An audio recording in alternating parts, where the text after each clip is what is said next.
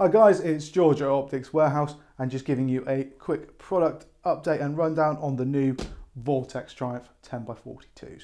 So these are uh, binos in the sub 150 pounds mark. So they are your entry level stuff, but I think these represent outstanding value for money. Go up against any of the other Vortex range and any other binos for that matter. So let's start seeing what you get with it for that under 150 pounds. I think it's around 130 that these are going to be sold at. So for that, you get binos in the GlassPak. We'll run through that in a minute.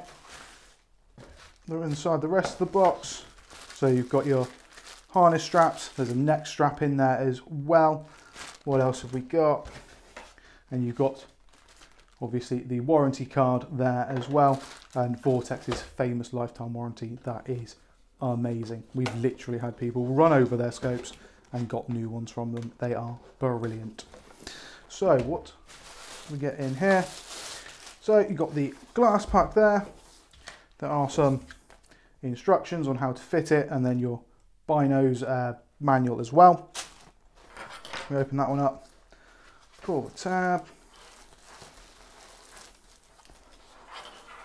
And what do we have? Do we have anything else in here? Oh, and you get a standard little lens cloth there. So, and here is the binos themselves. They are nice and compact. They're lightweight as well. They are not heavy.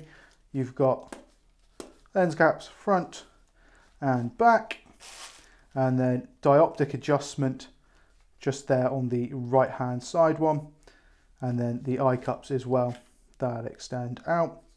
Your focus there is standard in the center.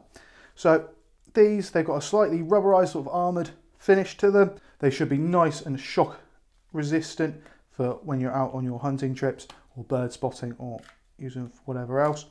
I think, as stated, I reckon these are going to be good for bird watching, spotting, um, or those who just want a pack of binos to take to the range with them, see where the shots go and that type of thing.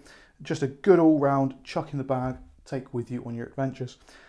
So if you've got any more questions about the Vortex Triumph or any other of the Vortex range, please get in touch, like, comment, subscribe. See you next time. Cheers, bye-bye.